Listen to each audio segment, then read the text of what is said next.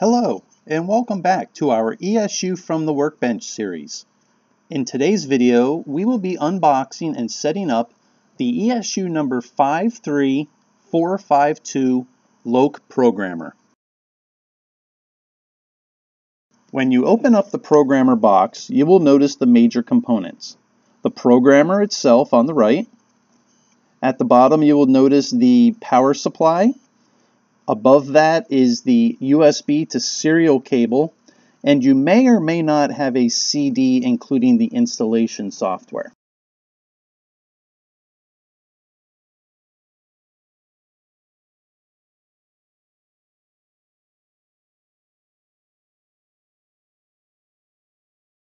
We will not be using the included CD.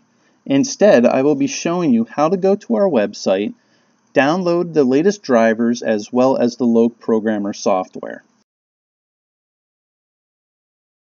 Do not plug in the LokProgrammer at this point. We want to make sure that the software and the drivers are installed before we hook up the programmer itself. So from your computer, open up a web browser and go to our website, www.loksound.com click on the Downloads link, click on Firmware and Software, click on LOC Programmer PC Software. From this list, we will need to download two programs. The very first one is the LokProgrammer itself, which will be the first download here. LokProgrammer PC software for fourth generation decoders. Click on the download link. The license agreement will appear. Read down through it. When finished, click the download button. That'll start downloading in the background. And then scroll down to the bottom of the page.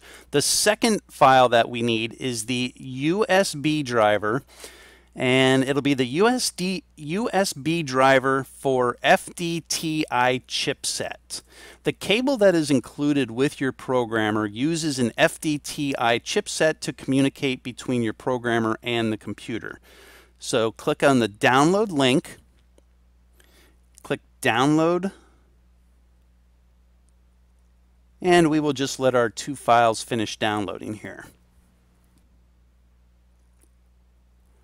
Once your files have finished downloading, you can close out of your web browser.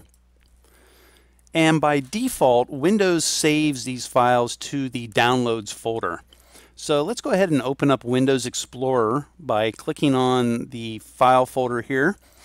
Or the shortcut key is Windows key E.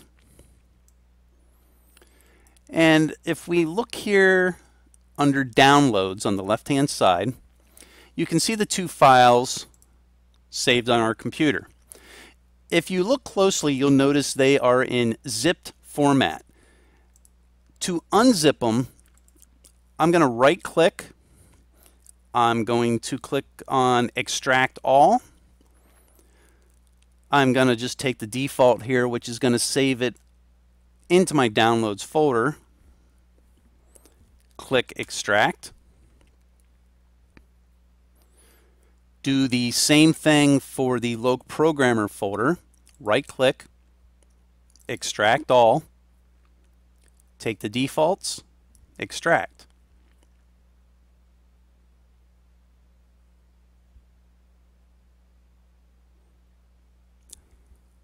Once the folders are extracted, you can delete the original zipped files.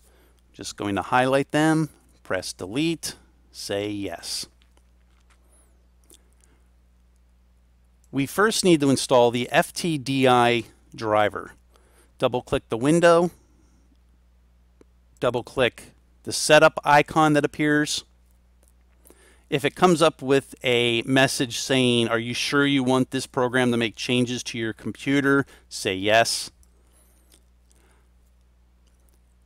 This will install the driver. You will only see this little box here, uh, similar to the old DOS prompts, installing driver. When it's finished, it will disappear. It will not give you any type of confirmation. This is your confirmation right here.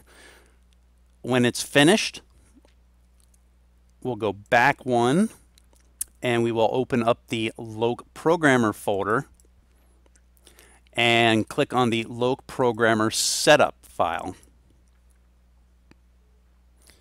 Again, do you want to make changes to the to your computer? Say yes. Take all the defaults. So we'll click next, next, next, and install.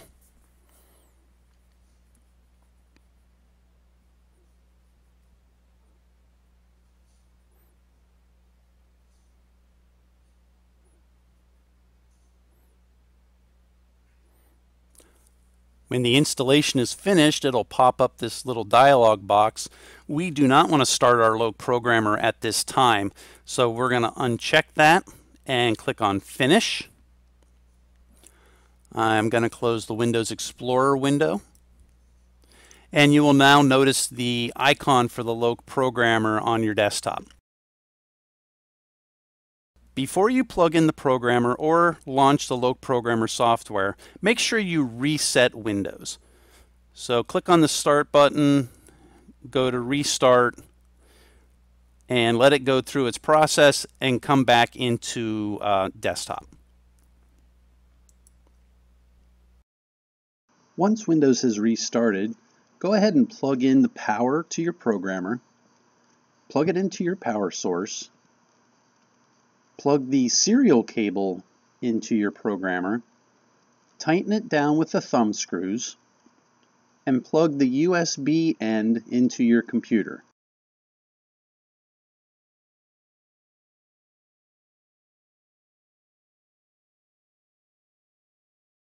You can now connect a piece of test track to your programmer by using either the green terminal screw connection that is provided or if you have a pair of alligator clips, you can go directly from your track out to each rail, place your locomotive on the test track, and we are ready to proceed.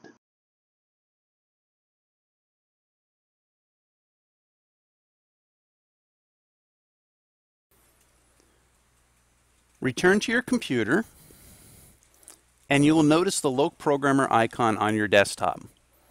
Go ahead and double click to launch the program. And we get two different pop-up boxes. For right now, we're not going to worry about these. Just click on OK and close. We'll get rid of those.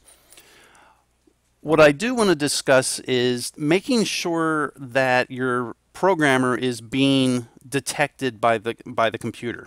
It should come up as uh, using one of your communication ports. So to double check this, we're going to go up to the Tools menu, Program Settings, and this is the uh, Change Program Settings dialog box.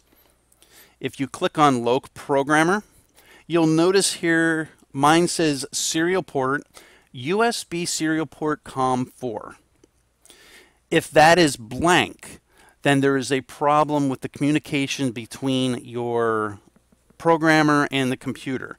More than likely, the drive you forgot to install the driver for the FTDI cable that is included with the programmer. So just make sure that this is filled in. Hit Save Changes. And that really completes everything there is to unboxing and setting up your LokProgrammer. Using the LokProgrammer is covered in other videos available on our website at www.loksound.com. We hope you found this video educational and useful, and if you have any questions, please don't hesitate to contact us. And thank you as always for choosing ESU.